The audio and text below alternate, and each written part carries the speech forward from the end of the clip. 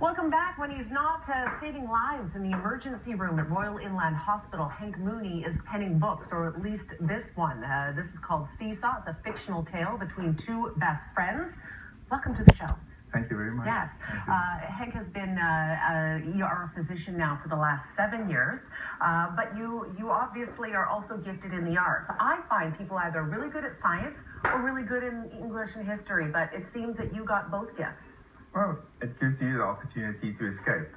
That's what I use the writing for. Is um, it's very pressured to work in the emergency department, and um, getting out, you need certain forms of escape. And for me, sometimes that's a good escape to walk out and, and write a story. Okay, So, originally from South Africa. Originally there, yeah. First book that you penned? This is my first one. yes. Okay, well, we have a trailer to this, so I'm thinking maybe we should throw that trailer now, and then we'll talk about it after that. Thank you. Let's take a look.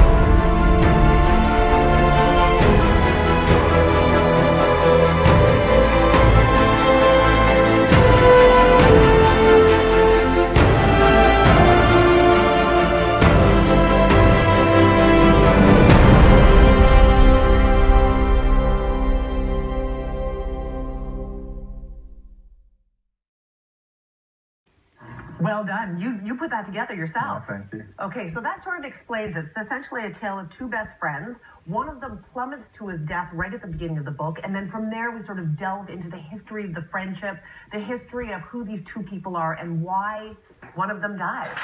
That's true. I mean, we, we have, that's the premise of the book, is that we know people in our lives all the time and we don't always know everything about them.